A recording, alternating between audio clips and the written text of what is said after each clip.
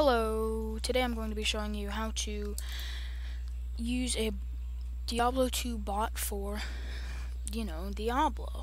Um, we're going to be using Etal because that's the easiest way to get into it. Um, and that's that's that. The first thing you want to do is come over to GitHub Project Etal and download the zip file to whatever drive you want that has your Diablo on it. I already have my Diablo installed. If you don't have your Diablo installed, you're going to need to install that first. Obviously, you kind of need the game. Um, and then you want to go to PlugY. This is like a single player modding thing, but this is actually what I found to be the easiest way to get a rollback patch. You just extract it into the folder and bam, you have rollback. So as soon as those finish downloading, you want to open your file explorer and you want to go here and you want to extract all. This one just extract to your drive which in my case is H. And then for the patch here you want to extract it to the Diablo folder. And then you just wait for that to complete. It'll be a minute you know. It takes a while. If you have a faster computer faster drives and stuff it'll be faster. You do want to replace the files in the destination because that's like the whole thing. You're replacing the files so you have a different patch so that the Etal will work with the Diablo because it'll be on the right um, it'll be on the right patch version because if it's not on the right patch version the Etal won't work. So obviously you have to have the right patch. Um, so those are almost done. Oh, poop. I didn't mean to close that, but it's alright. Um, we're just gonna open a new one. Uh, maybe. There we go. We're just gonna open a new one, go to our drive, and wait for these things to finish. Um, they're just about done. Once they are, we'll be done with these two folders, but we can leave them there anyways. If you want to delete them, you can delete them. If you want to keep them, you can keep them. really doesn't matter. It just matters that we unzip them. And then once we get this to finish, still just waiting on that. The reason that mine is taking so long is because I'm using a USB drive and those aren't as fast as internal hard drives. So yours will probably be a good bit faster. I'm also recording so my CPU bandwidth is not exactly perfect. So we don't need that. We don't need that either. So we open this and we go to game.exe. Oops, select it, click create shortcut where to put it? There, it'll put it down there. So you right click on that, properties, you click space hyphen W. You have to have the space in there, and you really do want the hyphen W. And then we should be able to double click this. You should open the game and say V1.13 right there. So that's that's worked so far. Um, and then we want to go here. Wait, actually, we want to go. We want to go here, and then we want to go into the game we want to make sure that we have a character, and we want to make sure that we know their name. Okay, so we have Shockwave. That's what we're going to use for this. Go to Etal Master, D2 Etal, and then come down to Etal Manager. You want to click Add. You want to make your profile name whatever you want. I'm going to make it Shockwave because that's the name of the character I'm using. It doesn't have to be the name of the character you're using. We're doing single player because battle BattleNet's against the rules. I want to use that. I want to go to Normal because that Shockwave is capable of playing in Nightmare, but we're not doing that just for this. We want to select our game.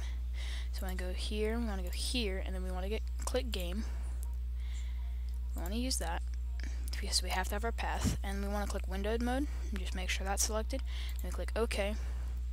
Actually, no, we want to edit that and select loader only. And then we're going to click run, and it loads up the game for us. Then we want to go to edit. Edit, no, we want to stop the bot first. And then we want to change it to ntbot.ntj. Then click run. It'll open and load you into the game, but then it will just stand there and probably close the game. Alright, well, it's not going to close the game, but that's fine.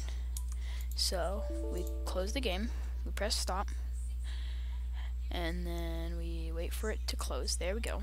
And then you want to go in the same folder, in the D2Etal master, D2Etal, we go to scripts, ntbot, car configs, and then we find the one with our character name. These are all just basic classes, and then this is has Shockwave on the end because Shockwave is the champion that we were using. Here is your config file. You have absolutely tons of settings, tons and tons and tons of settings. It's crazy. It's absolutely crazy, and it's hard to wrap your head around, especially when you're first starting out. The easiest thing to do is come up here, find this thing right here, the ntconfig underscore script. Over on the right side, it says this must be commented out and serves to protect prevent unconfigured characters from running. You want to type slash slash. So that comments it out, and that allows your bot to run. Then for the easiest way to just start out, you want to come down to Act 3 scripts and delete these two right here. And then we want to leave 0, false, false. We would like to just we want to kill Mephisto, so we're going to change that to true. So now we have, we're going to control S to save that, and now we have our, what, the, what we're telling the bot to do. But we still need to tell it how to attack. So we want to scroll down a long ways, past the cubing items, past everything, past gambling, past all like the miscellaneous settings, and we're almost there right here. So we need to open, go back to the File Explorer, and we need to go here, and I believe it's here, and then SDK, and then Skills. And then we want to use Blizzard. I'm actually just going to use uh, Ice Blast for this example, which should be 45. Yep, 45. So we know that that's 45. I 45 is Ice Blast. And then we come back to where we were. It'll, we want to open this again, sorry. And then you want to change all of these to 45. Instead of negative 1, 45. If any of these are left at negative 1, your bot will not run properly. You can change all of them to 45 for your first like test session. Then they might have different numbers for different things. And we want to control S to save. Minimize this, don't close it. Make sure it is saved though, so make sure you hit control S. You can close Google, you're done with that. Open your manager, click it, click run, and it should, if I've done everything correctly, should open, run to Act 3, and go to kill Mephisto. We shall see that is currently it playing. As you can see by it, the mouse like freaking out everywhere. It's not smooth mouse movements at all. It's teleporting, and it's gonna find Duriel, teleport over here, and then it should start hitting it with the Ice Blast, and boom, it kills Duriel. Or not Duriel, Mephisto, sorry. It'll come to Ormus, sell some stuff, whatever, do its thing, and then it will close the game after it picks up everything. So now it's picking up everything, and that's about it. That is your starting. That's your, that's your starting bot, and then you can come here, and now that you've got your starting thing set up, you can just come through and change all of these settings. Change what you want it to do. If you want it to kill Mephisto, Andariel, Duriel, Diablo, Baal, whoever you want it to kill, how you want them to kill it. All these different settings for like public games. Um, if you want it to give waypoints to people, here's your chicken settings, which are kind of important. And um, this percent of health, you will close the game.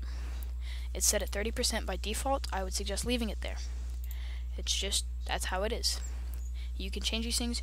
Here is your inventory menu, not menu really, but you want to set this so if I want the bot to control a space, I change it to 1 instead of 0. And now the bot gets to control that space. If I were going to go through a full setup of this bot, I would leave all of them except 1, 2, and 3 here set to 1 because that would be my time portal and my key, which the bot requires here's all the picking up stuff. You do want to pick up stuff, so you just leave this alone for the most part unless you really know what you're doing. And that is just about it to all to setting up your bot for the first time in in Etal. And then just to demonstrate one more time, we just click run. My hands are completely off of the mouse and keyboard. And it should simply open the game, run over, kill Mephisto using teleport and all of its abilities like frozen armor and whatever. And you can see that mouse just instantly moving, so it's it's clearly not me doing it. Um, and then it there it goes off teleporting, and it does know where everything is. So even though you can't see the whole map, it knows where everything is. It goes over there and it shoots some stuff, and then bam, it's done it again. It'll kill him again. And you can change your item drops so that it'll pick up only the stuff that you want and not the stuff that you don't. And you can change all kinds of stuff. And now it is done.